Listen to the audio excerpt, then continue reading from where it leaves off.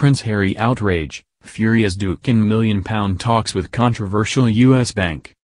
Prince Harry could be in line to earn millions of pounds in the corporate world, after holding exploratory talks about a role with the U.S. investment bank Goldman Sachs. The Duke of Cambridge is looking to make good on his pledge to become financially independent after he and his wife Meghan Markle announced that they were quitting the royal family in January.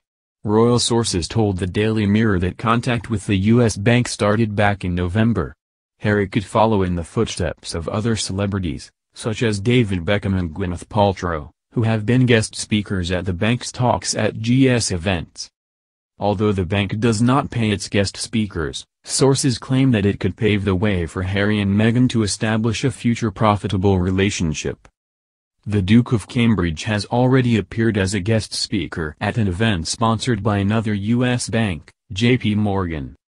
The talk was held in Miami last week, where the prince spoke about having therapy and his struggles to come to terms with the death of his mother Diana, Princess of Wales.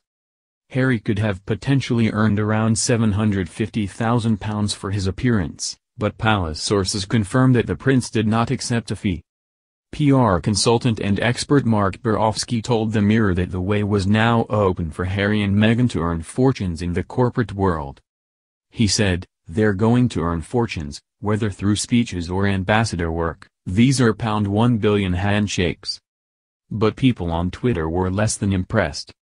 One wrote, this is what I don't like. One think ditching your friends, family, army pals, and patronages, quite another to go make billions out of your title.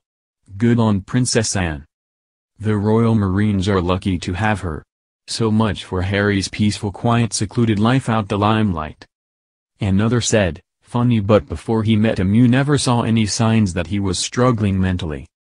He never displayed any signs of being unhappy as a royal. Now he wants to capitalize on his mental health as money bait. Harry and Meghan need an income to replace the estimated pound 2 million a year from the taxpayer-funded sovereign grant, which supports the most senior royals. Prince Charles is expected to support Harry financially for at least a year. Harry also has his own wealth, including an estimated pound 20 million inheritance from Princess Diana and pound 7 million from the Queen Mother. Meghan is thought to be worth £4 million. Guest speaking at corporate events presents a golden opportunity for Harry and Meghan to cash in on their royal celebrity status. According to royal expert Richard Fitzwilliams, the couple's enormous fame make them a covetable duo. Mr. Fitzwilliams told Express.co.uk, the role of speaker at corporate or similar events is enormously remunerative if you are famous. Harry and Meghan, the latter we know is an extremely articulate speaker, are one of the world's best-known couples. According to Mr. Fitzwilliams, if Harry and Meghan do hope to make money from corporate speaking, they are likely to stick to topics they are passionate about.